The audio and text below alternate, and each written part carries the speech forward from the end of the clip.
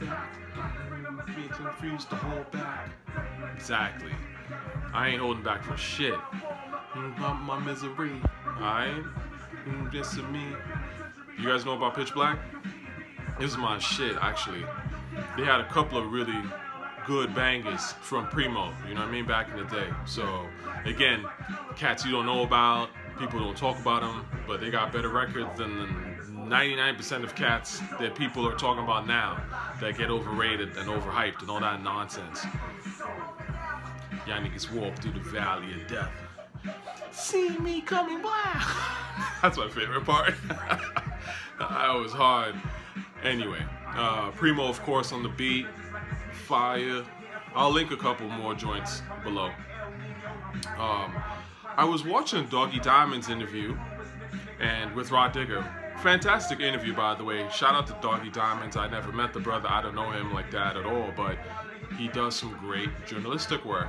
And this one was about Rah Digga. It was very, very enlightening and probably the best interview I've seen with Rah Digga, period. So really went into her whole history and the Outsidaz and everything. But one thing that came out of that interview was the fact that Megan Thee Stallion used to be Q-Tip's artist. And that was really surprising to me. I'd never even, I had no idea, right? And I've always said this, man. I've always suspected this. But I, you know, sometimes you suspect things and you think, oh, you're crazy for thinking it. But I've always said, man, every whack person that's in the game right now, there's usually someone respected behind them. You know what I mean? Like rappers don't just show up out of nowhere, especially right now.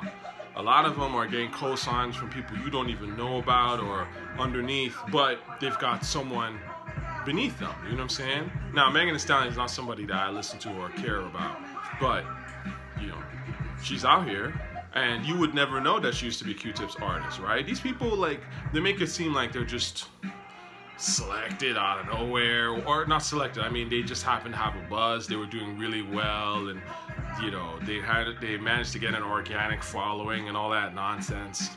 I mean, I'm sure it happens with some artists, but I would argue a lot of these cats, it's forced. It's forced, 100%. So, I'm not impressed. But hey, there you go. And that's why you'll never hear them talk, you know, honestly about how they feel, who's whack, and really sort of break it down and be honest about it. They're not going to do that, right? There's a lot of relationships and conflicts of interest. So when you guys are out here trusting cosigns, it's like, okay, if you want to, go ahead. But I don't. I just look at the music. Is the music good or not? I don't care who who likes it, who says they like it. People say all kinds of shit. Anyway, another time.